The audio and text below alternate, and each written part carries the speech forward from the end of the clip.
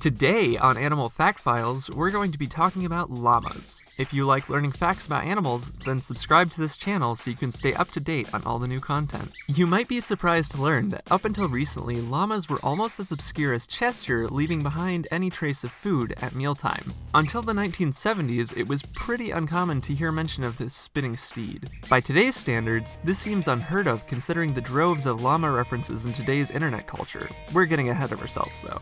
Looking back to somewhere around 40 million years ago, the early ancestors of llamas lived in today's North America. Icy land bridges that aren't around anymore allowed them to travel to Asia as well as South America. Asian species evolved to endure desert terrain, while South American species evolved to live in the Andes highlands. So, if you haven't already guessed, this means that llamas and camels are actually cousins, with llamas, of course, lacking that iconic hump.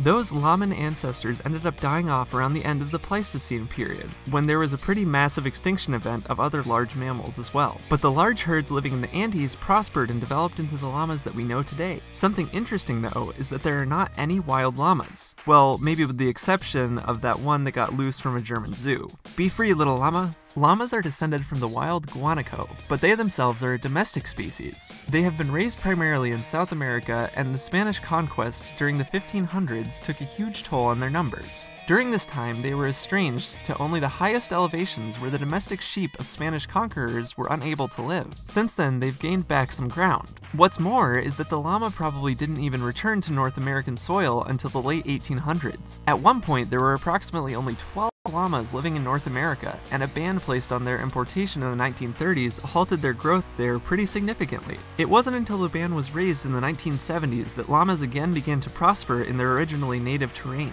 Now there are more than 100,000 llamas living in North America. They actually live all around the world, including Europe, Australia, and Canada, though most of them live in Bolivia. Llamas are kept primarily as pack animals and resources of fiber. A full-grown llama can carry more than 50 pounds of weight 20 miles in a day, if they're feeling up to it anyway. Too much weight and a llama will refuse to move completely, sometimes even lying down and spitting until their load is lightened. They're usually sheared, or they have their fur cut, once every two years. Their fur isn't as valuable as their relative the alpaca, but it is still used to make outerwear as well as ropes and rugs. They are also used as a source of meat and as guard animals. Perhaps there's a questioning look developing upon your face. There certainly was on mine in coming across this information. Guard llamas? They're used mostly in western regions of North America, where canid populations are higher. By placing a llama with a group of livestock such as goats or horses, he will typically accept the other animals as part of his herd and protect them from predators. And llamas, they don't mess around. They'll kick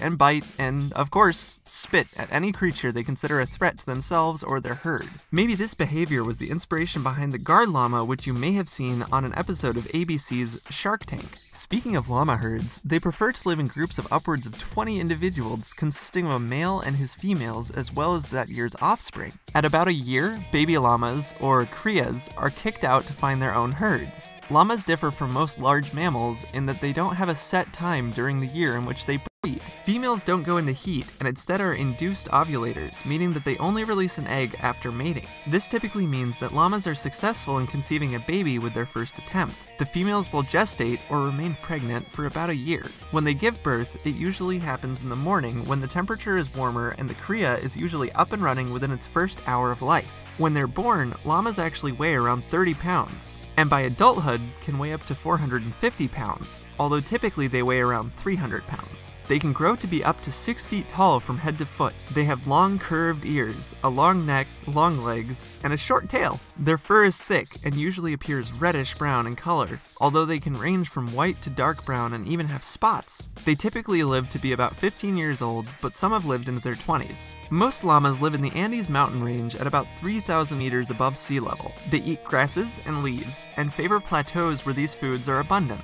Their main predators are canids, such as coyotes and also large cats. As mentioned before, humans have also had a pretty huge impact on their numbers in the past, but today they are prospering. With their recent resurgence in popular media, hopefully they'll stick around for a while. For more facts on llamas, feel free to check out the links in the description below. Let us know which animal you'd like to see covered in the comments. Thank you for watching, and be sure to give a thumbs up for more animal fact files.